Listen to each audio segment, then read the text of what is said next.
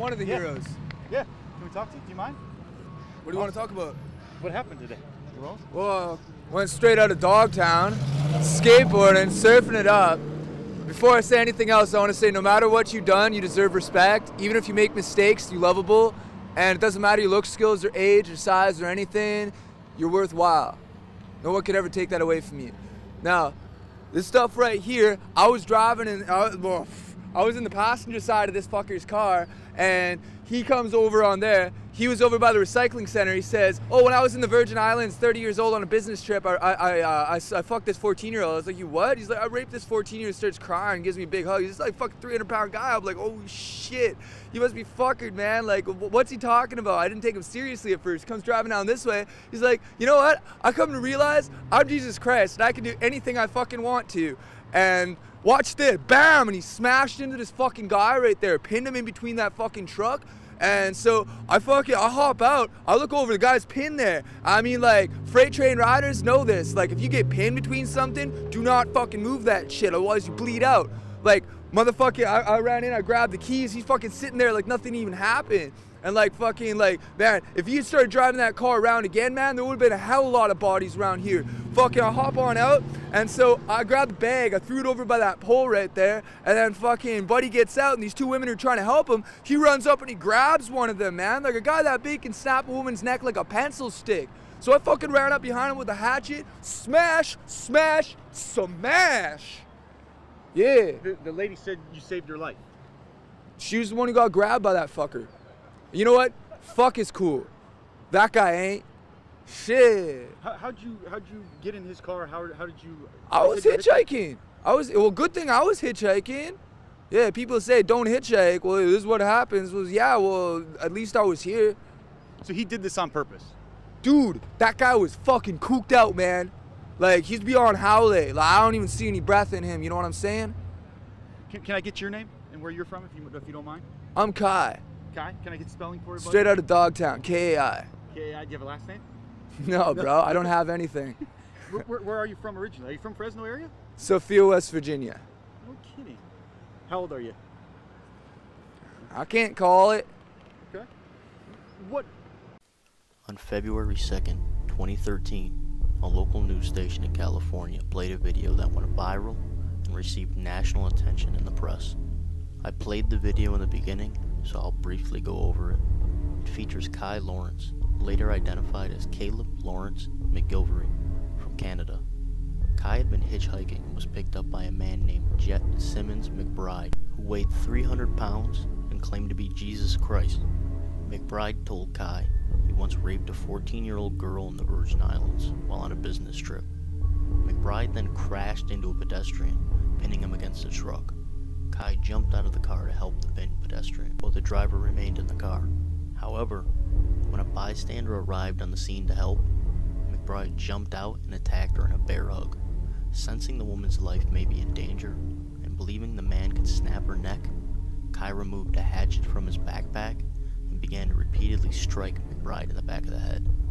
After the hits, McBride staggered away and began masturbating at a nearby school before the police arrived and took the man into custody.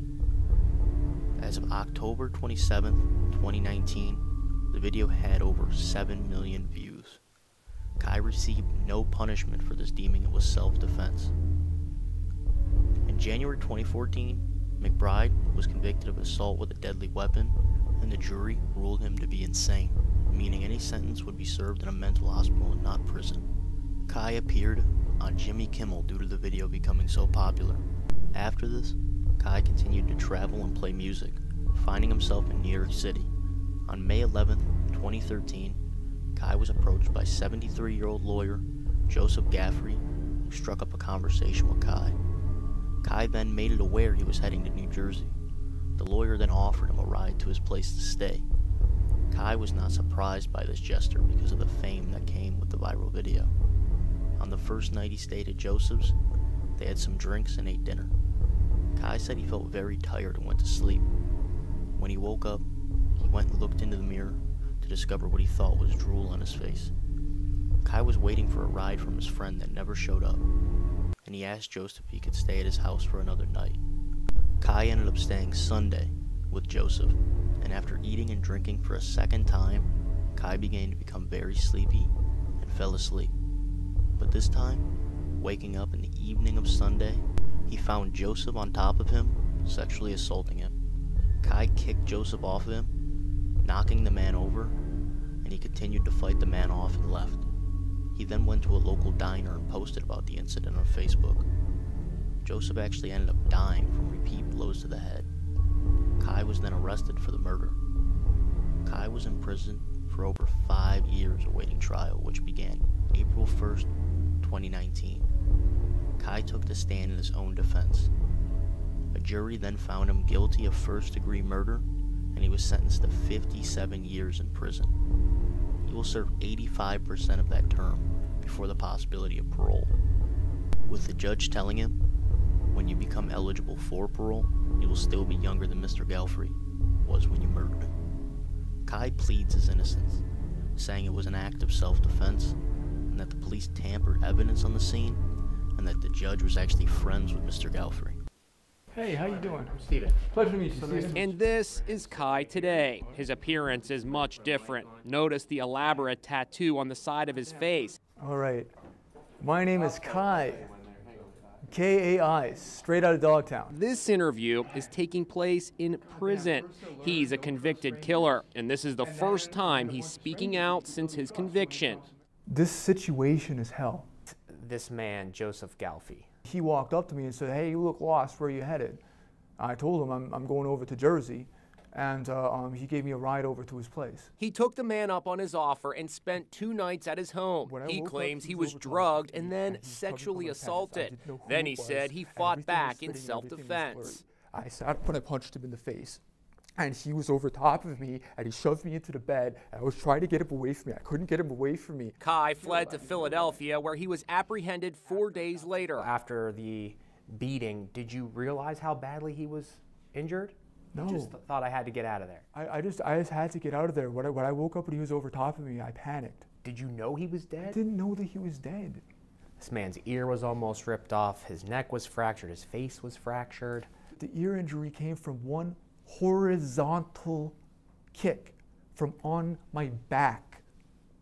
That ought to tell you I was on my back on the floor. But the jury didn't believe he acted in self defense. If this was self defense, why didn't you call the police right then and there? I'm an illegal immigrant.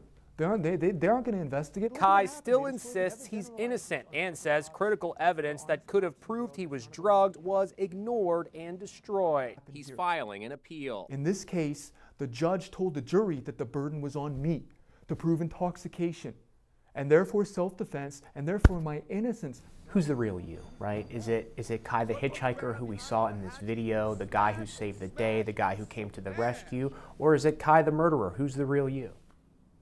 De- definitely never Kai the murderer. I've never murdered anyone.